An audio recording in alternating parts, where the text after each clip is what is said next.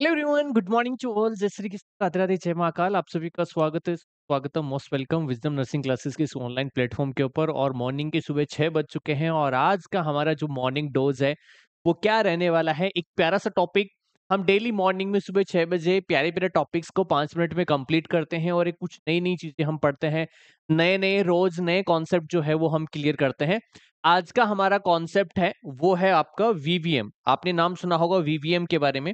बहुत ही प्यारा कॉन्सेप्ट है। वीवीएम से क्वेश्चन भी जो है वो पूछे जाते हैं। तो बात करते हैं वीवीएम वीवीएम का मतलब क्या होता है? सबसे पहले तो इसकी फुल फॉर्म का पता होना चाहिए। इसे हम कहते हैं आपका, वो कहते हैं वैक्सीन वाइल मॉनिटर। क्या कहते हैं आपका? इसे हम कहते हैं आपका vaccine vial vaccine vial monitor जो है, वो इसे हम कहते हैं। ठीक है? वीवीएम की फुल फॉर्म क्या होती है? वैक्सीन वाइल मॉनिटर आपकी होती है, ये आपको याद रखना है। ठीक है?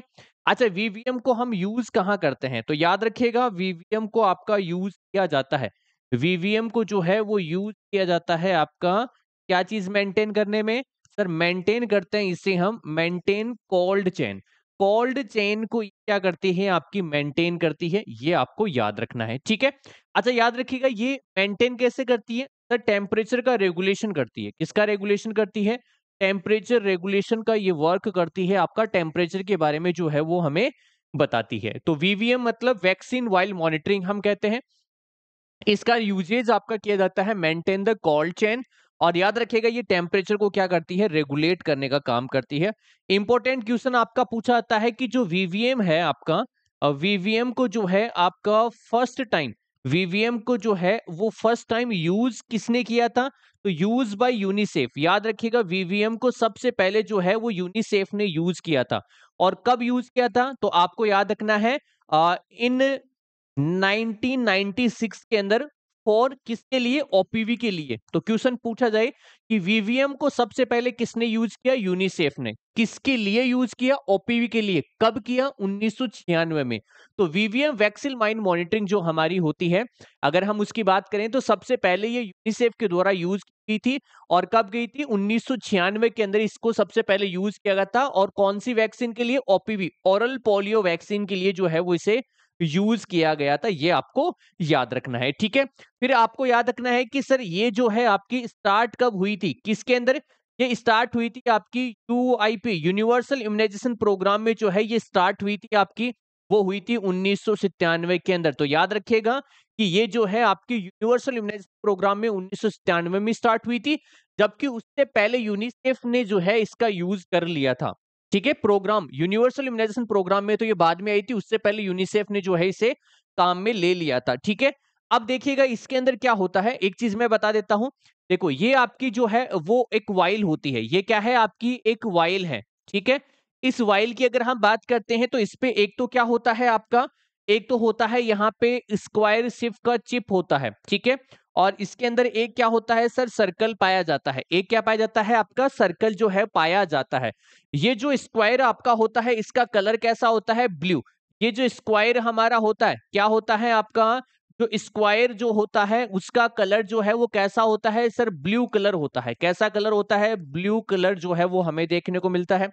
और ये जो सर्कल होता है, इसका कलर कैसा होता है? जो भाई सर्कल आपका होता है, इस सर्कल का कलर कैसा होता है? सर व्हाइट कलर होता है। कैसा कलर होता है? व्हाइट कलर जो है, वो हमें देखने को मिलता है। तो याद रखिएगा कि इस स्क्वायर की हम बात करें तो ब्लू कलर होता है और सर्कल की अगर हम बात करते हैं तो कैसा कलर होता है आपका? व्हाइट कलर हमें देखने को मिलता है।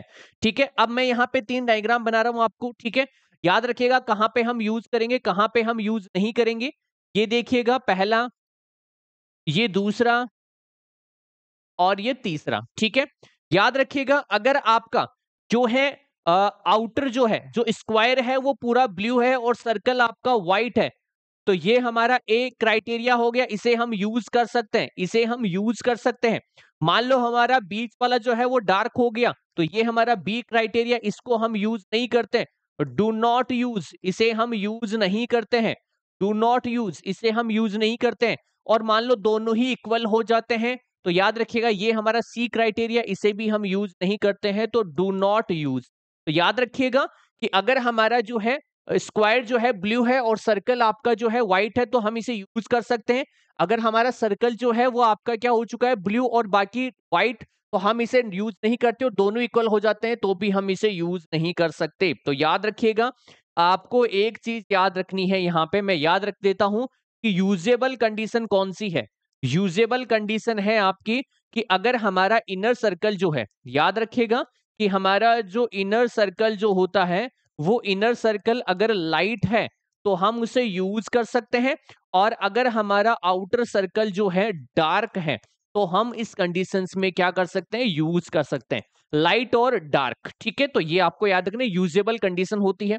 अच्छा अनयूजेबल मतलब डिस्कार्डेबल कंडीशन कौन सी होती है? तो डिस्कार्डेबल डिस्कार्डेबल जो कंडीशन होती है, अगर मैं उसकी बात करता हूँ तो याद रखिएगा अगर मान लो आपका जो इनर सर्कल जो होता है, ये इनर सर्कल आपका कैसा है? डार्क है। अरे भाई, अंदर वाला डार्क है तो इसको हम डिस्कार्ड कर देंगे। अगर हमारा जो आउटर सर्कल है क्या है हमारा? अगर आउटर सर्कल जो है, वो हमारा क्या है? लाइट है तो उस कंडीशन में भी ये डिस्कार्डेबल है। और अगर बहुत इक्वल हो जाते हैं, मैंने कहा कि अगर दोनों सर्कल जो हैं, वो आपके क्या हो जाते हैं? मैच हो जाते हैं या इक्वल हो जाते हैं तो इसे हम क्या करते हैं? सर डिस्कार्ड करते हैं। मतलब इक्वल हो जाते हैं। तो ये तीन कंडीशन है जहाँ पे हम इसे डिस्कार्ड करते हैं। तो ये आपका वीवीएम का एक छोटा सा नया कॉन्सेप्ट है। आई होप आपको ये कॉन्सेप्ट पसंद आ रहे होंगे। इस कॉन्सेप्ट को मॉर्निंग सुबह छह बजे जो होता है डेली इसको देखा करो डेली इसके नोट्स बनाया करो और इसको शेयर करिया करो अपने दोस्तों के साथ में और चैनल के ऊपर नए हैं तो चैनल को सब्सक्राइब करना क्लास को लाइक करना क्लास को शेयर करना। Thank you so much